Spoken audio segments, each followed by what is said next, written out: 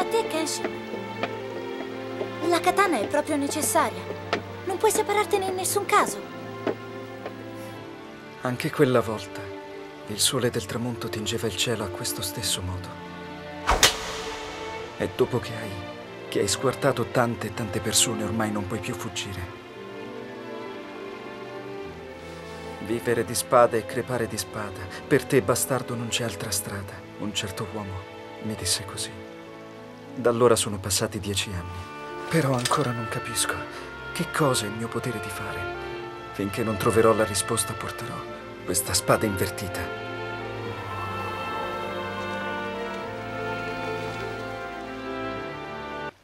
Prima o poi tutti quanti continueranno ciascuno per la propria strada e vivranno ciascuno la propria vita. Potrà essere triste, ma è così che va.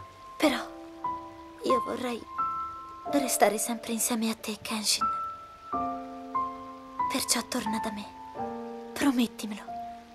Che per quel che accada, ritornerai vivo da me.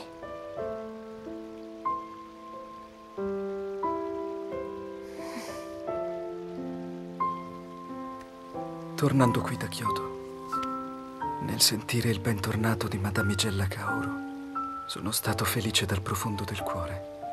Persino un uomo come me, ho pensato, se ha qualcuno ad accoglierlo, ha un luogo a cui far ritorno. E per me non c'è altro posto per far ritorno che qui.